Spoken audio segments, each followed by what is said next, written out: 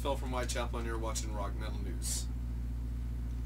Hey guys, this is Ron from YouTube's Rock and Metal News with a Rock and Metal News update. Looks like Butcher Babies bassist Jason Klein is stepping away from the band. He will play the last two shows uh, live, which are August 1st at the Gathering of the Juggalos in uh, Indiana and August 3rd at Pain in the Grass in uh, Washington. He will then leave the band to be a full time dad. He has an 11 year old daughter and he really wants to spend a lot more time with her. So good for uh, Jason on that one. Heidi stated, My brother is moving on to focus on the most important job in the world, being an amazing father. We love you, Jason. Thank you for a decade of incredible memories. We sure did accomplish a lot together. Now let's slay these last two fests. You can check out his post in the link in the description. This is Ron from YouTube's Rock and Metal News.